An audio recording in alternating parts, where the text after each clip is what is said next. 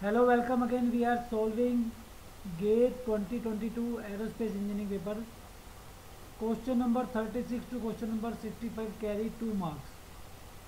question number 36 is the height of right circular cone of maximum volume that can be enclosed with a hollow sphere of radius r is option a r option b 5 by 4 r option c 4 by 3 are option D 3 by 2 are. so this is the uh, sphere of radius r this is uh, cone within the sphere that has maximum volume okay suppose let r be the small r be the radius of cone and h be the height of cone okay and this is the center of the sphere so this is your r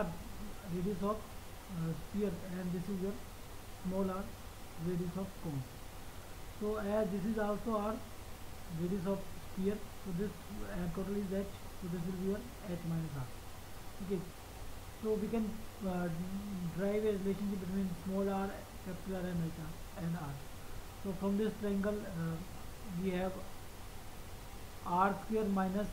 h minus r square is equal to r square so r is radius of cone h is height of cone r is uh, radius of sphere okay so volume of cone is pi by 3 r square so this is the radius of cone this is the height of cone because volume of cone is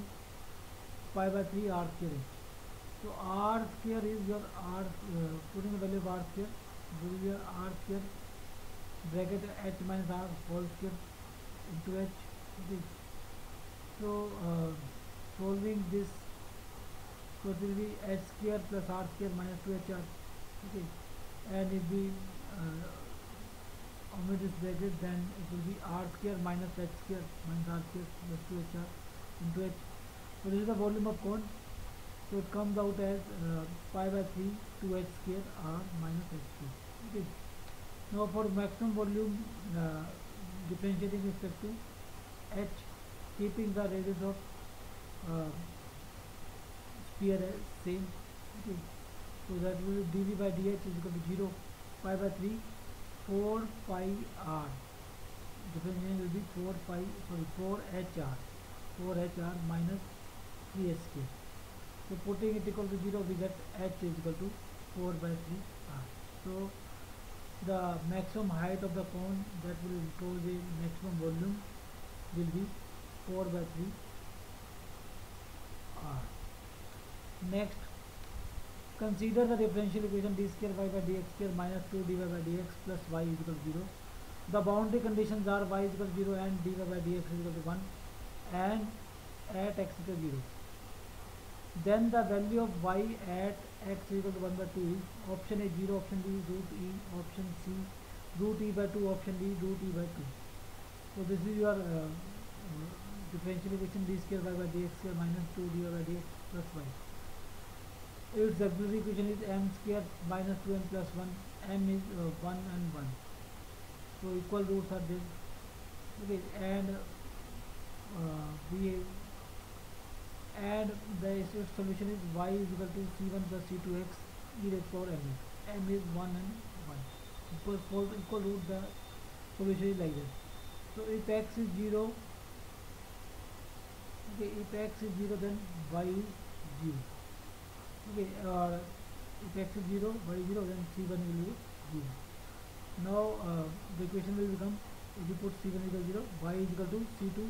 X E M X okay है now at X is equal zero slope is one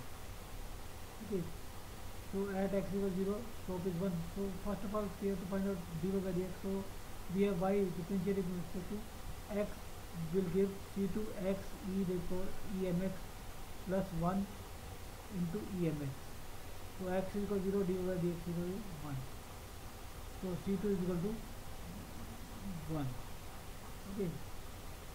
So y will be uh, now we, we can put the value of c2 also y will be your x emx. So at x is equal to 1 by 2, y will be 1 by 2 e raised power value of uh, m is 1 and value of m is 1 and value of x is 1 by 2 so it is 1 by 2 e 1 by 2 so root e by 2 so option c is the right answer next consider the partial differential equation curly square f by curly x square plus curly square f by curly y square is equal to 0 where x and where x y are real if fx y ax dy where ax and dy are real functions which one of the following statements can be true option a ax is a periodic function and dy is a linear function option b both ax and dy are exponential functions c ax is a periodic function and dy is a is an exponential function option d both ax and dy are periodic function so uh, as this is the partial differential equation and solution of this is fxy, ax dy one of them will be periodic and another will be uh, exponential function so ax is your periodic and dy is your exponential function so answer is option c one of them AX is periodic function and another is exponential function.